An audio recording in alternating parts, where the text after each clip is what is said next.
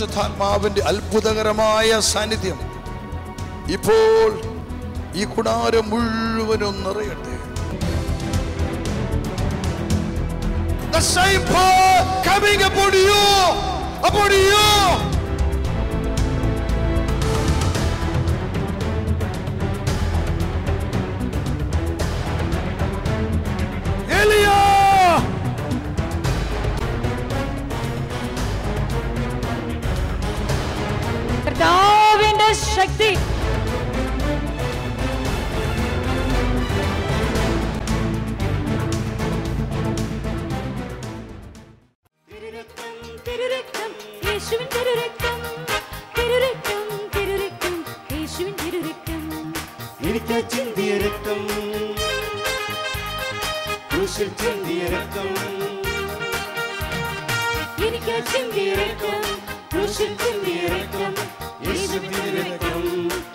యేసుவின் திருவேக்கம் యేసుவின் திருவேக்கம் యేసుவின் திருவேக்கம் திருவேக்கம் திருவேக்கம் యేసుவின் திருவேக்கம் திருவேக்கம் திருவேக்கம் యేసుவின் திருவேக்கம் திருவேக்கம் திருவேக்கம் యేசுவின் திருவேக்கம் திருவேக்கம் திருவேக்கம் యేசுவின் திருவேக்கம்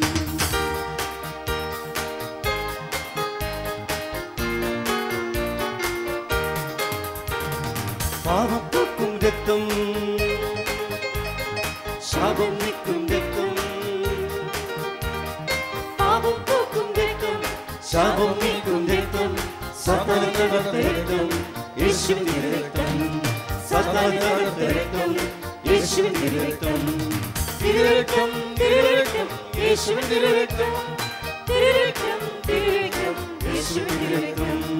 തിരുരക്തം തിരുരക്തം യേശുവിന്റെ രക്തം തിരുരക്തം തിരുരക്തം യേശുവിന്റെ രക്തം എന്നെ വീണ്ടെടുത്ത രക്തം തൻ സ്വന്തമാക്കിയ രക്തം. എന്നെ വീണ്ടെടുത്ത രക്തം തൻ സ്വന്തമാക്കിയ ജീവൻ നൽകും രക്തം യേശു രക്തം ജീവൻ നൽകും രക്തം യേശുവിൻ തിരുരക്തം തിരുരക്തം തിരുരക്തം യേശുവിൻ തിരുരക്തം തിരുരക്തം തിരുരക്തം യേശുവിൻ തിരുരക്തം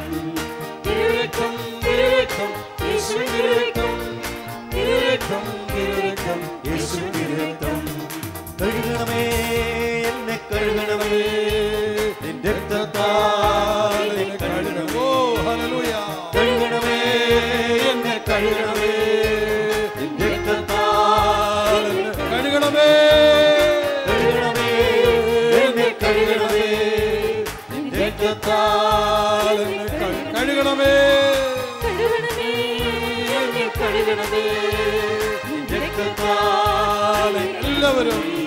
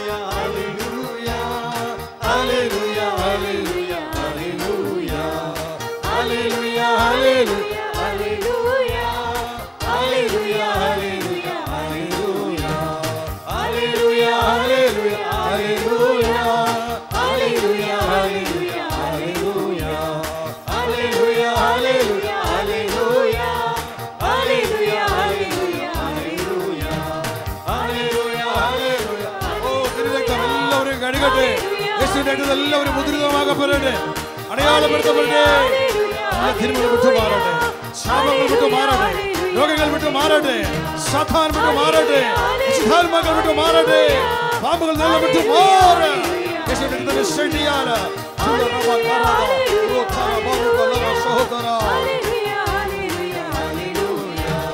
hallelujah, hallelujah hallelujah, hallelujah hallelujah hallelujah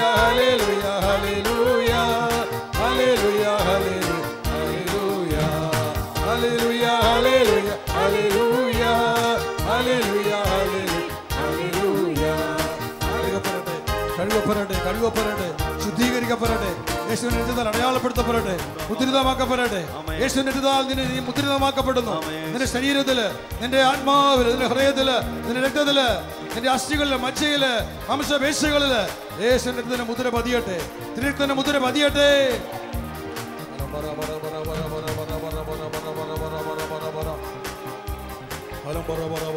സംഹാരദൂതൻ ദൂരെ പോകട്ടെ. സംഹാരദൂതൻ വിട്ടു മാറി പോകട്ടെ സംഹാരദൂതൻ ദൂരെ മാറി പോകട്ടെ ഓ തിരുരക്തം തിരുരക്തം തിരുരക്തം.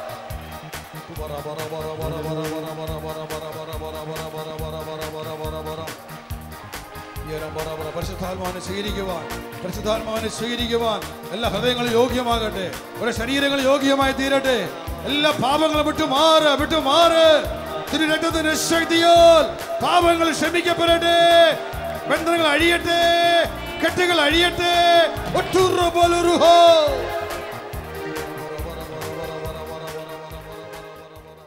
പരിശുദ്ധാത്മാവ് ദൈവത്തിന്റെ ആത്മാവാണ്. അഥവാ ദൈവത്തിൽ നിന്നും പുറപ്പെടുന്ന ആത്മാവാണ്. ഹലിലുയ അതുകൊണ്ട് തന്നെ പരിശുദ്ധാത്മാവുമായി നമുക്കുള്ള വ്യക്തിബന്ധം നമ്മളെ എത്തിക്കുന്നത് യേശുവിലേക്കും പിതാവിലേക്കുമാണ്. കാരണം യേശു ക്രിസ്തുവാണ് നമുക്ക് പരിശുദ്ധാത്മാവിനെ നൽകാൻ ബലിയായി തീർന്നത് യേശുവിലുള്ള നമ്മുടെ വിശ്വാസം നിമിത്തം യേശുവിന്റെ നാമത്തിലാണ് നമുക്ക് പരിശുദ്ധാത്മാവിനെ ലഭിക്കുന്നത്. ഹലിലുയ അതുകൊണ്ട് തന്നെ നാം പരിശുദ്ധാത്മാവിനെ സ്വീകരിക്കുമ്പോഴും ദൈവാത്മാവുമായി ഒരു ബന്ധമുണ്ടാകുമ്പോഴും അത് യേശുവിലേക്കും യേശുവിലൂടെ പിതാവിലേക്കും. ഈശോ പറഞ്ഞു എന്നെ കാണുന്നവൻ എന്നെ അയച്ച പിതാവിനെ കാണുന്നു. കാരണം പിതാവ് എന്നിലും ഞാൻ പിതാവിലും വസിക്കുന്നു. അപ്പോൾ പിതാവ് യേശുവിനോട് കൂടെ ആയിരിക്കുന്നത് കൊണ്ടും ദൈവത്തിന്റെ ആത്മാവ് പരിശുദ്ധാത്മാവ് പിതാവിൽ നിന്ന് പുറപ്പെടുന്നത് കൊണ്ടും നാം ഇവരിൽ ആരോട് പ്രാർത്ഥിച്ചാലും പ്രാർത്ഥനകളെല്ലാം മൂന്ന് പേരിലേക്കും കൂടിയാണ് കടന്നു ചെല്ലുന്നത്. ഹലലുയ അതുകൊണ്ട് ദൈവത്തിന്റെ ആത്മാവും നമുക്ക് സഹായകനാണ്. അപ്പോൾ നമുക്ക് ഈശോ നമുക്ക് വേണ്ടി കുരിശിൽ മരിച്ചെങ്കിലും നമ്മളെ സഹായിക്കുവാൻ നമുക്ക് നൽകിയിട്ട് പോയത് പരിശുദ്ധാത്മാവിനെയാണ്. അപ്പോൾ എല്ലായ്പ്പോഴും നാം ബന്ധം പുലർത്തേണ്ടത് പരിശുദ്ധാത്മാവിനോടാണ്. അപ്പോൾ പരിശുദ്ധാത്മാവിനോട് നാം സംസാരിക്കുമ്പോഴും പങ്കുവെക്കുമ്പോഴും പ്രാർത്ഥിക്കുമ്പോഴും സ്നേഹിക്കുമ്പോഴും അത് പരിശുദ്ധാത്മാവിന് നാം കൊടുക്കുന്ന അതേ അളവിൽ തന്നെ ഈശോയിലേക്കും പിതാവിലേക്കും കടന്നു ചെല്ലുന്നു. പരിശുദ്ധ ത്രീത്വം മഹത്വപ്പെടുന്നു അപ്പോൾ ദൈവത്തിന്റെ ആത്മാവുമായി ഒരു വ്യക്തിബന്ധം നിങ്ങൾക്ക് ഓരോരുത്തർക്കും ഉണ്ടാകണം. ആ വ്യക്തിബന്ധം ഉണ്ടാകാത്തതാണ് അനേകർ തകർന്നു പോകാൻ തളർന്നു പോകാൻ തീഷ്ണത കുറഞ്ഞു പോകാൻ കാരണം. ദൈവത്തിന്റെ ആത്മാവ് അഗ്നിയാണെന്ന് വിചാരിക്കുക.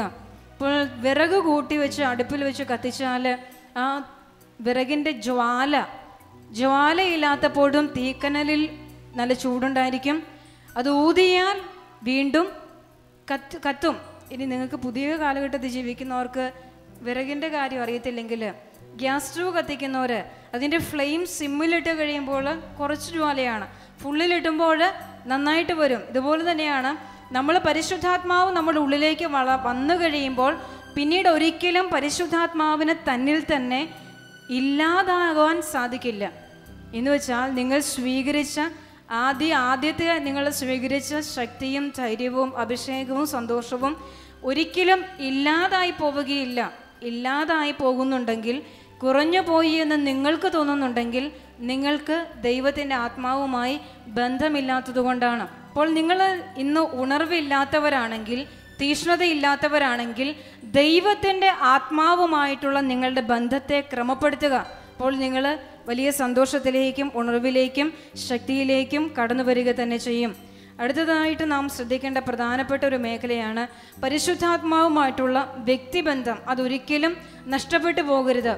പരിശുദ്ധാത്മാവിനോടുള്ള വ്യക്തിബന്ധം ഉണ്ടാകുന്നത് പ്രാർത്ഥനയിലൂടെയാണ്. വ്യക്തിപരമായ പ്രാർത്ഥനയിലൂടെയാണ് ദൈവത്തിന്റെ ആത്മാവുമായി നമുക്ക് വ്യക്തിബന്ധം ഉണ്ടാകുന്നത്. കൂട്ടായ്മ പ്രാർത്ഥനയിൽ എത്ര പ്രാർത്ഥിച്ചു? എത്ര അഭിഷേകം സ്വീകരിച്ചു വ്യക്തിപരമായ പ്രാർത്ഥനയില്ലെങ്കിൽ നിങ്ങൾക്ക് ഒരിക്കലും വളരാൻ സാധിക്കുകയില്ല. കിട്ടിയ കൃപയിൽ നിങ്ങൾക്ക് കയറി വരാൻ സാധിക്കുകയില്ല. വ്യക്തിപരമായ പ്രാർത്ഥനയിലൂടെ പരിശുദ്ധാത്മാവുമായി നിങ്ങൾ വ്യക്തിബന്ധം സ്ഥാപിക്കണം. ഹലലുയ്യ അടുത്തതാണ് ഏറ്റവും പരമപ്രധാനം ദൈവവുമായിട്ടുള്ള ബന്ധത്തിൽ നിങ്ങളുടെ ശുശ്രൂഷ ജീവിതത്തിൽ. നാല് പ്രധാനപ്പെട്ട ഘടകങ്ങൾ ഒരേ അളവിലാണ് നിൽക്കുന്നത്. പ്രാർത്ഥന. പ്രാർത്ഥനയില്ല എങ്കിൽ നിങ്ങൾക്ക് വിശ്വാസമുണ്ടാവില്ല. വിശ്വാസമുണ്ടാവി ഇല്ലെങ്കിൽ നിങ്ങൾക്ക് സ്നേഹമുണ്ടാകില്ല. സ്നേഹമില്ല എങ്കിൽ നിങ്ങൾക്ക് പരിശുദ്ധാത്മാവ് ഉണ്ടാവില്ല. അപ്പോൾ പ്രാർത്ഥനയുണ്ടെങ്കിൽ നിങ്ങൾക്ക് വിശ്വാസമുണ്ട്. വിശ്വാസമുണ്ട് എങ്കിൽ നിങ്ങൾക്ക് സ്നേഹമുണ്ട്. സ്നേഹമുണ്ട് എങ്കിൽ നിങ്ങളിൽ പരിശുദ്ധാത്മാവുണ്ട്. അപ്പോൾ ഇതിൽ ഏതെങ്കിലും ഒന്ന് നിങ്ങൾക്കില്ല എങ്കിൽ നാലും ഇല്ല എന്ന് തന്നെയാണ് അർത്ഥം. പ്രാർത്ഥിക്കുന്ന വ്യക്തിക്ക് മാത്രമേ ദൈവത്തെ വിശ്വസിക്കാൻ കഴിയൂ. വിശ്വസിക്കുന്ന വ്യക്തിക്ക് മാത്രമേ ദൈവത്തെയും സഹോദരങ്ങളെയും സ്നേഹിക്കാൻ കഴിയൂ. സ്നേഹിക്കുന്ന ഹൃദയങ്ങളിൽ മാത്രമേ പരിശുദ്ധാത്മാവ് വസിക്കൂ. അപ്പോൾ ഈ നാല് അവസ്ഥയിലേക്കും കയറി വരുവാൻ പരിശുദ്ധാത്മാവിന്റെ സഹായം നിങ്ങൾ ഓരോരുത്തരും എല്ലായ്പ്പോഴും സ്വീകരിക്കുന്നവരായി തീരണം അടുത്തതായിട്ട് പരി പ്രാർത്ഥന എന്ന് നാം പറയുമ്പോൾ നമുക്ക് ഏറ്റവും അധികമായിട്ട് ഓരോ ദിവസത്തെയും ജീവിതത്തിൽ ഉണ്ടായിരിക്കേണ്ടത് നിങ്ങളുടെ വ്യക്തിപരമായ പ്രാർത്ഥന വിശുദ്ധ കുർബാന ജപമാല പ്രാർത്ഥന ദൈവത്തിന്റെ വചനം കൂട്ടായ്മ പ്രാർത്ഥന ഈ അഞ്ചും കൂടി ചേരുമ്പോഴാണ് പ്രാർത്ഥന അതിൽ തന്നെ പൂർണമാകുന്നത്. ഹലലുയ അനുദിനവും അർപ്പിക്കുന്ന വിശുദ്ധ ബലി സാധിക്കാത്തവർ ഞായറാഴ്ചയും സാധിക്കുന്ന ദിവസങ്ങളിലും അർപ്പിക്കണം. ജപമാല പ്രാർത്ഥന മുടക്കമില്ലാതെ നടത്തുന്ന വ്യക്തിപരമായ പ്രാർത്ഥന എല്ലാ ദിവസവും മുടങ്ങാതെ ദൈവത്തിന്റെ വചനം വായിക്കുന്നത് അതോടൊപ്പം കൂട്ടായ്മ പ്രാർത്ഥന. ഇത് അഞ്ചും കൂടി ചേരുമ്പോഴാണ് നമ്മൾ നമ്മുടെ തന്നെ വിളിയിൽ പ്രാർത്ഥനയിലും വിശ്വാസത്തിലും സ്നേഹത്തിലും പരിശുദ്ധാത്മാവിലും ദൈവത്തിന്റെ മുമ്പിൽ വിശ്വസ്തരായി കാണപ്പെടുവാൻ തക്കവണ്ണം നമ്മൾ കൃപയിൽ വളർന്നു വരികയുള്ളൂ. ഹാലലുയ അപ്പോൾ ഈ അവസ്ഥയിൽ എവിടെയെങ്കിലും നിങ്ങൾ കുറഞ്ഞു പോയിട്ടുണ്ടെങ്കിൽ നിങ്ങൾ അതിലേക്ക് കയറി വരണം. വ്യക്തിപരമായ പ്രാർത്ഥനയോ ജപമാലയോ വിശുദ്ധ കുർബാനയോ ദൈവത്തിന്റെ പരി കൂട്ടായ്മ പ്രാർത്ഥനയോ ദൈവത്തിന്റെ വചനമോ കുറഞ്ഞു പോയിട്ടുണ്ടെങ്കിൽ നിങ്ങൾ അതിലേക്ക് പൂർണമായും കടന്നു വരുവാൻ ശ്രദ്ധിക്കുക. വീണ്ടും അതോടൊപ്പം തന്നെ വചനമില്ലാത്ത ഹൃദയങ്ങളിൽ പരിശുദ്ധാത്മാവ് ഒരിക്കലും വസിക്കുകയില്ല. അപ്പോൾ എല്ലാ ദിവസവും നിങ്ങൾ ദൈവത്തിന്റെ വചനം വായിക്കുന്നവരായിരിക്കണം. അപ്പോൾ ഇതില്ല എങ്കിൽ നിങ്ങളുടെ ജീവിതത്തിൽ നിങ്ങളത് മാറ്റം വരുത്തി ഇനിയുള്ള ദിവസങ്ങളിൽ ഇതെല്ലാം ഇത് അഞ്ച് കാര്യങ്ങളും നിങ്ങളുടെ ജീവിതത്തിൽ ഉണ്ടാകുമെന്ന് നിങ്ങൾ തീരുമാനമെടുക്കുക.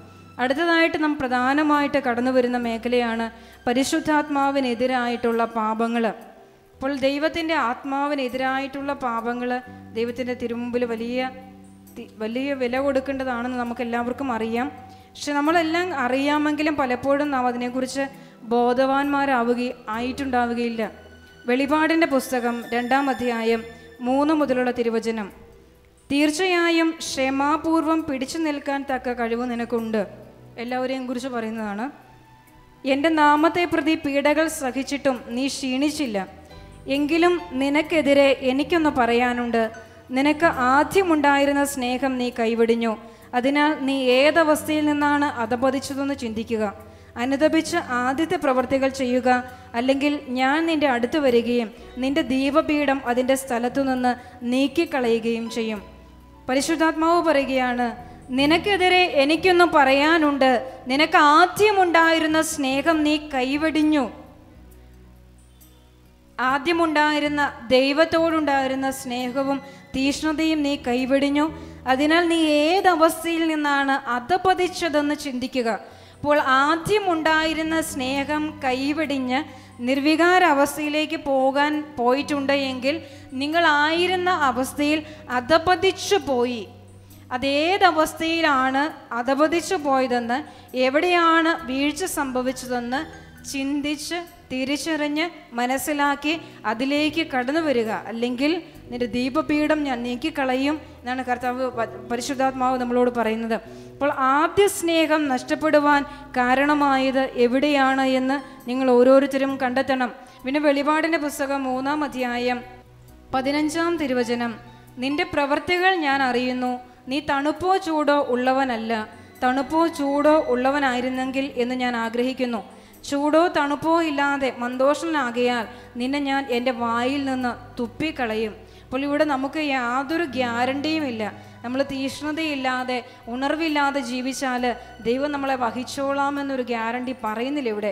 മറിച്ച് പറയുന്നത് നാം ദൈവത്തിന് മുമ്പിൽ എപ്പോഴും കുറ്റമറ്റവരായി കാണപ്പെടുവാനാണ് ദൈവം നമ്മളെ ആഗ്രഹിക്കുന്നത്. ഹലലുയ അതുകൊണ്ട് തന്നെ നമ്മുടെ പഴയ തീഷ്ണതയിലേക്ക് പഴയ ആ ഉണർവിലേക്ക് കടന്നു വരണം. നമ്മൾ ഒരിക്കൽ എപ്പോഴും നമ്മൾ കൂട്ടായ്മയിലേക്ക് വരുമ്പോൾ ശുശ്രൂഷയിലേക്ക് വരുമ്പോൾ നമ്മളെപ്പോഴും പരീക്ഷണത്തിലൂടെയാണ് നമ്മൾ വിജയം നേടുന്നത്. അപ്പോൾ ആ പരീക്ഷയിൽ നാം മനുഷ്യരെ നോക്കുന്നെങ്കിൽ നാം പരാജയപ്പെട്ടു നാം ദൈവത്തെയാണ് നോക്കുന്നതെങ്കിൽ നാം ദൈവത്തിന് മുമ്പിൽ വിജയിച്ചു. ഹാലേലുയ്യ എന്റെ ആത്മീയ ജീവിതത്തിൽ എനിക്ക് നിങ്ങളോട് പറയാൻ പറ്റും. എന്റെ ജീവിതത്തിൽ ഞാൻ തെറ്റിദ്ധരിക്കപ്പെട്ട അനേക സാഹചര്യങ്ങളിൽ ഞാൻ നിശബ്ദയായിരുന്നപ്പോഴെല്ലാം ദൈവം എന്നെ വളരെയധികം ഉയർത്തിയിട്ടുണ്ട്. ഹലലുയ്യ അപ്പോൾ ചിലപ്പോൾ ഞാൻ വിചാരിച്ചിട്ടുണ്ട് ദൈവമേ എനിക്കന്ന് അത്രയും ഒന്നും ചിന്തിക്കാൻ ഉള്ള പ്രായമില്ലാത്തത് കൊണ്ടായിരിക്കും ഞാൻ മിണ്ടാതിരുന്നത്. അങ്ങനെ ഞാൻ വിചാരിച്ച ഒരിക്കൽ പരിശുദ്ധമ്മനോട് പറയുകയാണ് അല്ല ഞാൻ നിനക്ക് തന്നൊരു കൃപയാണ് നിശബ്ദയായിരിക്കുക എന്നുള്ളത്. അന്നൊക്കെ ഞാൻ ഇങ്ങനെ വിചാരിച്ചിട്ടുണ്ട് എന്റെ കർത്താവിനെന്നെ അറിയാം. മറ്റുള്ളവർ എന്തു പറഞ്ഞാലും ഈശോയ്ക്ക് എന്നെ അറിയാം. ഈശോ എന്നെ എല്ലാ നിമിഷവും കണ്ടുകൊണ്ടാണ് ഇരിക്കുന്നത്. രാത്രിയിലും പകലും ഈശോ എന്നെ കാണുന്നു. ഈശോ എന്റെ ഹൃദയം അറിയുന്നു. പിന്നെ എന്തിന് ഞാൻ ലോകത്താൽ വിധിക്കപ്പെടണം? എന്റെ മനസാക്ഷിയെ ലോകത്തിന്റെ രീതിപ്രകാരം വിധിക്കപ്പെടാൻ ഞാൻ എന്തിനു അനുവദിക്കണം? ലോകം പറയുന്നത് പറയട്ടെ എനിക്ക് ആരോടും ഒരു മറുപടിയും പറയാനില്ല. എനിക്ക് പറയാനുള്ളത് ഈശോയുടെ മുമ്പിൽ മാത്രമാണ്. ഞാൻ അവിടെ ആരോടും ഞാൻ ഒരിക്കലും അങ്ങനെയുള്ള കാര്യങ്ങൾക്ക് ചെവി കൊടുക്കാൻ പോയിട്ടുള്ള പോയിട്ടില്ല ഒരിക്കലും ദൈവം അനുവദിച്ചിട്ടില്ല. അവിടെ എല്ലാം ദൈവം വലിയ രീതിയിൽ എനിക്ക് പ്രതീക്ഷിക്കാൻ വിചാരിക്കാൻ പറ്റുന്നതിനേക്കാൾ വലിയ രീതിയിൽ ഉയർത്തിയിട്ടുണ്ട്. ഹലലുയ ഞാൻ പറയാം അതൊരു പരീക്ഷണമാണത്. നമ്മൾ മനുഷ്യരെയാണ് നോക്കുന്നത് നമ്മൾ ദൈവത്തെയാണ് നോക്കുന്നതെന്ന് തമ്പുരാൻ നമ്മളെ അറിയുകയാണ് പരിശോധിച്ചറിയുകയാണ്.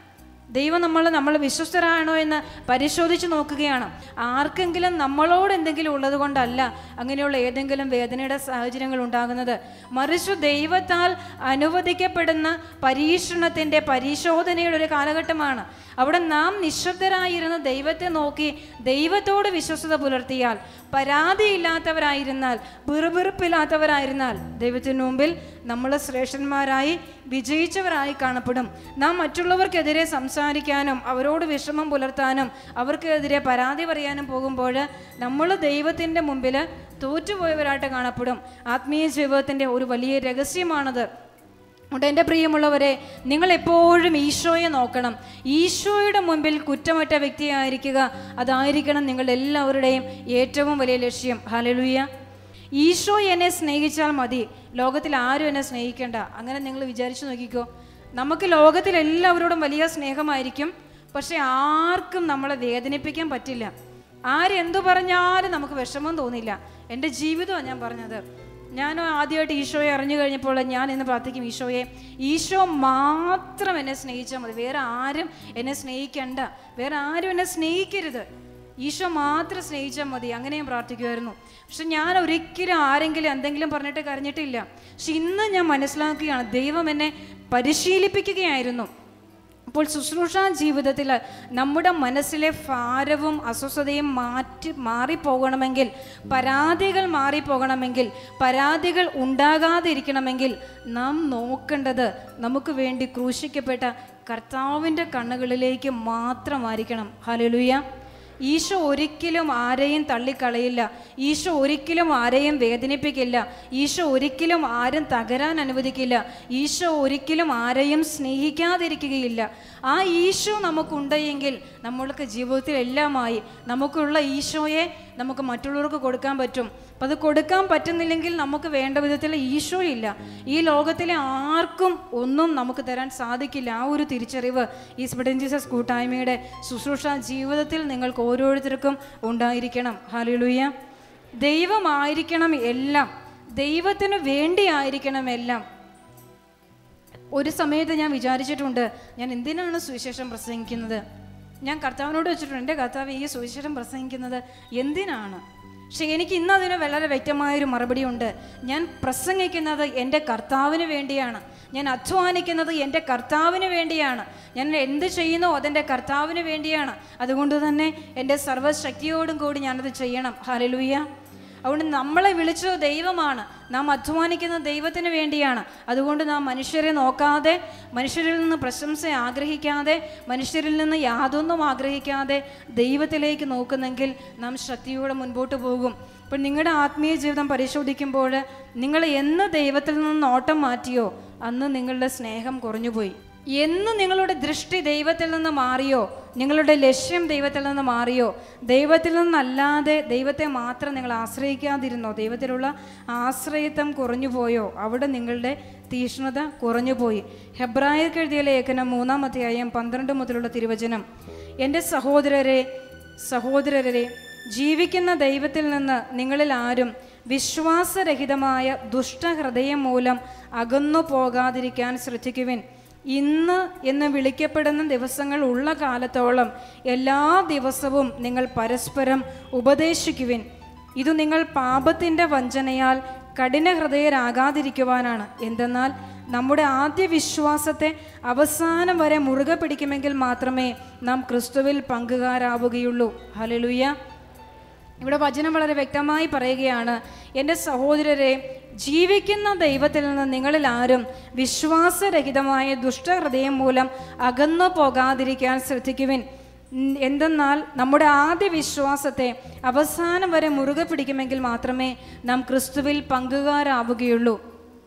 പരിശുദ്ധാത്മാവ് നിങ്ങളെ നോക്കി പറയുകയാണ് നിങ്ങളിൽ അനേകരും വിശ്വാസത്തിൽ വലിയ കുറവ് സംഭവിച്ചവരാണ്.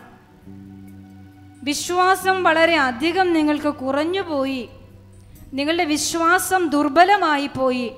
നിങ്ങളുടെ വിശ്വാസം പല സാഹചര്യങ്ങളിലും നിങ്ങൾക്ക് നഷ്ടപ്പെട്ടു പോയി. വിശ്വാസത്തോടൊപ്പം നിങ്ങളുടെ സ്നേഹവും നിങ്ങൾക്ക് നഷ്ടപ്പെട്ടു പോയി. പ്രിയമുള്ളവരെ ഒരുവൻ യേശുവിനെ വിശ്വസിച്ചു കഴിഞ്ഞാൽ അവന് പിന്നീട് ഒരിക്കലും ആ വിശ്വാസത്തിൽ നിന്നും പിന്മാറി പോവുക സാധ്യമല്ല. അതിന്റെ ആത്മാവ് കൊണ്ട് ദൈവത്തെ കണ്ടെത്തണം. ദൈവത്തെ വെറുതെ അറിഞ്ഞു യേശു ഉണ്ടെന്നൊക്കെ അറിഞ്ഞു. യേശു നിന്റെ ആത്മാവിൽ നിനക്കൊരു അനുഭവമായി കഴിഞ്ഞാൽ മാത്രമേ വിശ്വാസത്തിൽ നിന്നും സ്നേഹത്തിൽ നിന്നും പിന്തിരിഞ്ഞു പോകാതെ യേശുവിനോടൊപ്പം നിനക്കെന്നും ജീവിക്കാൻ സാധിക്കുകയുള്ളൂ. ഹലലുയ്യ അപ്പോൾ ഒരു വ്യക്തിയുടെ ആത്മാവ് ദൈവത്തിന്റെ ആത്മാവുമായി യേശുവിന്റെ ആത്മാവിനോട് സ്നേഹത്തിൽ ഒട്ടിച്ചേർക്കപ്പെട്ടു കഴിഞ്ഞാൽ മാത്രമേ അവനിലുള്ള ദൈവവിശ്വാസം നഷ്ടപ്പെടാ നഷ്ടപ്പെട്ടു പോകാതിരിക്കുകയുള്ളൂ. അതൊരു വലിയ കൃപയാണ്. അപ്പോൾ അത് സംഭവിച്ചിട്ടില്ല എങ്കിൽ നിങ്ങളിലുള്ള വിശ്വാസം നഷ്ടപ്പെട്ടു പോകും. ഇപ്പോൾ നിങ്ങൾ വിചാരിക്കുന്നുണ്ടായിരിക്കും നിങ്ങൾക്ക് എല്ലാവർക്കും വിശ്വാസമുണ്ട്. ആരും വിശ്വാസത്തിൽ നിന്ന് കുറവ് വന്നിട്ടില്ല. അപ്പോൾ ഇനി പറയുന്ന കാര്യങ്ങൾ ശ്രദ്ധിക്കുക. നിസ്സാര കാര്യങ്ങളിൽ നിങ്ങളുടെ വിശ്വാസം നഷ്ടപ്പെടുന്നു ദൈവവിശ്വാസം. ജീവിതത്തിൽ നിസ്സാരമായതോ വലുതോ ചെറുതോ ആയ പ്രതികൂലങ്ങൾ ഉണ്ടാകുമ്പോൾ വിശ്വാസം നഷ്ടപ്പെട്ടു പോകുന്നു. ഇനി അടുത്ത വിഭാഗമാണ് സംശയിക്കുക. ഇങ്ങനെയൊക്കെ സം സംഭവിക്കുവോ സംഭവിക്കുവോ? അപ്പോൾ ദൈവം ഒരു കാര്യം ചെയ്യുമെന്ന് പറയുമ്പോൾ അങ്ങനെ സംഭവിക്കുവോ? അങ്ങനെ ഒരു ഉറപ്പായിട്ട് വിശ്വസിക്കാൻ പറ്റാത്ത അവസ്ഥ സംശയം. സംശയം ഒരുപാട് തരത്തിലുണ്ട്. ദൈവം ഉണ്ടോ എന്ന് സംശയിക്കുക. ഈ പറയുന്നതൊക്കെ സത്യമാണോ? വചനം സത്യമാണോ? എങ്ങനെ വേണമെങ്കിലും സംശയിക്കാം. ദൈവത്തെ സംശയം തോന്നുക. അങ്ങനെയുള്ള അവസ്ഥകൾ അടുത്തത് ഭയം. എപ്പോഴും ഭയമാണ്. ദൈവത്തോടുള്ള സ്നേഹത്തിലുള്ള ഭയം നല്ലതാണ്. പക്ഷെ ഭാവിയെക്കുറിച്ചുള്ള ഭയം ജീവിതത്തെക്കുറിച്ചുള്ള ഭയം കുഞ്ഞുങ്ങളെക്കുറിച്ച് ഭയം അവരുടെ സുരക്ഷിതത്വത്തെക്കുറിച്ച് ഭയം സാമ്പത്തിക മേഖലയെക്കുറിച്ച് ഭയം നാളത്തെ ജീവിതത്തെക്കുറിച്ച് ഭയം ഇങ്ങനെയുള്ള ഭയം രാത്രിയെ ഭയം പകലിന് ഭയം മരിച്ചുപോയോരെ ഭയം ജീവിച്ചിരിക്കുന്നവരെ ഭയം പട്ടി കുറച്ചാൽ ഭയം പൂച്ച കരഞ്ഞാൽ ഭയം ഇങ്ങനെയുള്ള ഭയങ്ങളെല്ലാം ഇതിനകത്ത് പെടും. ഭയത്തിന്റെ അടിമകളാണ് എങ്കിൽ ദൈവത്തിൽ വിശ്വാസമില്ല. അടുത്തതാണ് ആകുലത. എപ്പോഴും ഉത്കണ്ഠപ്പെട്ടുകൊണ്ടേയിരിക്കുക. എന്റെ ദൈവമേ ഞാനത് എന്താ ചെയ്യുന്നത്? ഞാനിത് ഇങ്ങനെ ചെയ്യും? നാളെ അത് ചെയ്ത് തീർക്കണം അത് ഞാൻ എന്ത് ചെയ്യും? ഇന്ന് ഞാൻ ഇങ്ങനെ ചെയ്യണം. ദൈവമേ ഒരു മാസം കഴിയുമ്പോൾ ഞാൻ അങ്ങനെ ചെയ്യണം. ദൈവമേ പത്ത് വർഷം കഴിയുമ്പോൾ ഞാൻ ഇങ്ങനെ ചെയ്യണം. എപ്പോഴും ഉത്കണ്ഠയാണ്. അപ്പോൾ ഒരു കാര്യത്തിലും സ്വസ്ഥതയില്ലാതിരിക്കുക.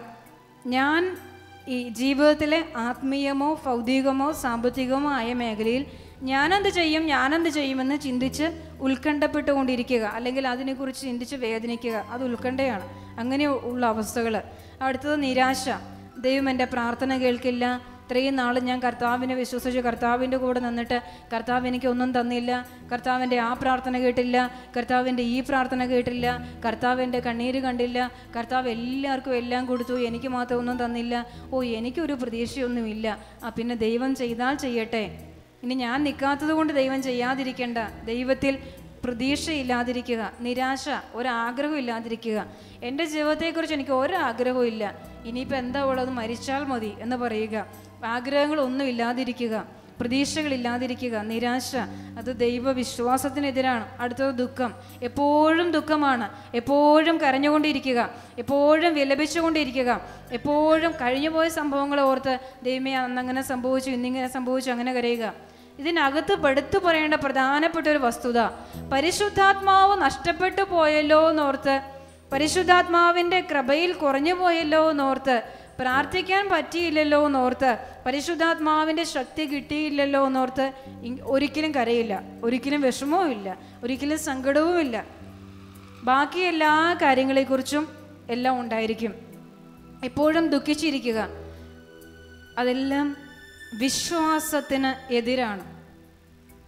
പിന്നെ ഇപ്പോൾ ഏറ്റവും നിസ്സാരമായി പറഞ്ഞാൽ നമ്മളെക്കുറിച്ചുള്ള വലിയ വിളി അത് വിശ്വസിക്കാൻ പറ്റാതിരിക്കുക. രണ്ട് കാരണങ്ങൾ കൊണ്ട് സംഭവിക്കും. ഒന്ന് പരിശുദ്ധാത്മാവും ദൈവത്തിന്റെ വചനവും ഇല്ലാതിരിക്കുമ്പോൾ രണ്ട് ആത്മാവ് കടുത്ത ബന്ധനത്തിലായിരിക്കുമ്പോൾ.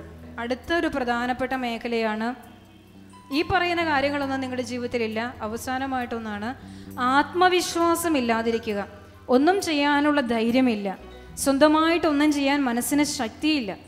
ചിലർ പറയും എനിക്ക് ഒരാളെ കണ്ട് സംസാരിക്കാനുള്ള ധൈര്യം പോലും ഇല്ല.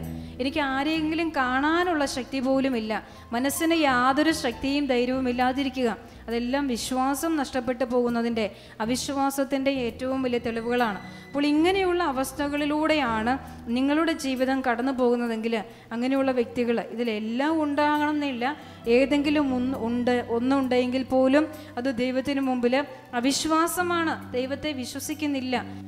അപ്പോൾ കർത്താവ് പറയുന്നത് ഇങ്ങനെയാണ്. ഒരുവൻ യേശുവിനെ യഥാർത്ഥത്തിൽ വിശ്വസിച്ചു കഴിഞ്ഞാൽ അവന്റെ ജീവിതത്തിൽ എത്ര വലിയ തകർച്ചകൾ ഉണ്ടായാലും ഏതു വലിയ പരാജയങ്ങൾ ഉണ്ടായാലും അവൻ യേശുവിനെ ആശ്രയിക്കുന്നവനായിരിക്കും. അവൻ ഒരിക്കലും യേശുവിനെതിരായി ചിന്തിക്കില്ല ദൈവത്തിനെതിരായി സംസാരിക്കില്ല. അല്ലെങ്കിൽ ദൈവമുണ്ടോ? ദൈവം ഇതൊക്കെ എന്താ? ദൈവം ഇതൊന്നും അറിയുന്നില്ലേ? എന്നൊരിക്കലും ചിന്തിക്കില്ല. അവൻ ദൈവത്തെ വിശ്വസിക്കുന്നു. നിങ്ങളുടെ ആത്മാവ് യഥാർത്ഥത്തിൽ ദൈവത്തെ കണ്ടെത്തിയിട്ടില്ല. ബുദ്ധിയിൽ നിങ്ങൾക്ക് ദൈവത്തെ അറിയാം. നിങ്ങളുടെ മനസ്സിലും നിങ്ങൾക്ക് ദൈവത്തെ അറിയാം. ആന്തരിക തലത്തിൽ നിങ്ങളുടെ ആത്മീയ മനുഷ്യൻ നിങ്ങളുടെ ആത്മാവിന് ദൈവത്തെ അനുഭവിക്കാൻ കഴിഞ്ഞിട്ടില്ല. അതാണ് ഒന്നാമത്തെ കാരണം. രണ്ടാമത്തെ കാരണം നിങ്ങളുടെ പ്രാർത്ഥന കുറവ് ഇപ്പോൾ ചില വ്യക്തികൾ അടുത്തത് ഇതാണ് നല്ല പ്രാർത്ഥനയിൽ നിൽക്കുന്ന സാഹചര്യത്തിലാണെങ്കിൽ വിശ്വാസമുണ്ട് പ്രത്യാശയുണ്ട് ധൈര്യമുണ്ട് ആത്മവിശ്വാസമുണ്ട്. യാതൊരു ഉത്കണ്ഠയും ഭയവും യാതൊരു അസ്വസ്ഥതയും ഇല്ല. അങ്ങനെയുണ്ടെങ്കിൽ നിങ്ങൾ തിരിച്ചറിയേണ്ടത് നിങ്ങളുടെ പ്രാർത്ഥന കുറവ് കൊണ്ട് പരിശുദ്ധാത്മ ചൈതന്യം നിങ്ങൾക്കില്ലാത്തതുകൊണ്ട് നിങ്ങളിലുള്ള കൃപ പ്രവർത്തിക്കാത്തതുകൊണ്ട് പ്രവർത്തിക്കാത്തത് കൊണ്ട് പരിശുദ്ധാത്മാവ് ശക്തിപ്പെടാത്തത് കൊണ്ട് നിങ്ങൾക്ക് സംഭവിക്കുന്നതാണ്. അത് ഈ പ്രാർത്ഥന ഉള്ളപ്പോഴും പ്രാർത്ഥന ഇല്ലാത്തപ്പോഴും എനിക്ക് വിശ്വസിക്കാൻ പറ്റുന്നില്ല. അങ്ങനെയുള്ളവരാണ് നിങ്ങളുടെ ആത്മാവ് കൊണ്ട് നിങ്ങൾക്ക് ആത്മാവിൽ നിങ്ങൾക്ക് ദൈവത്തെ കണ്ടെത്താൻ കഴിയാതെ പോകുന്നത്. Every move I make, I make in you. You make me move, Jesus. Every breath I take, I take in you. Every step I make, I make in you. You are my way, Jesus. Every breath I take, I take in you. Waves of mercy, waves of grace. Everywhere I look, I see your face, your.